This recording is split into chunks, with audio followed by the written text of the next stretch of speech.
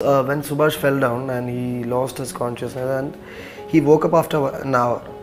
And when he woke up, he didn't remember anything about Kodaikanal. But his mind opened in his childhood. He was blabbering, uh, don't hit me, let me go play. So his mind was there. He was playing.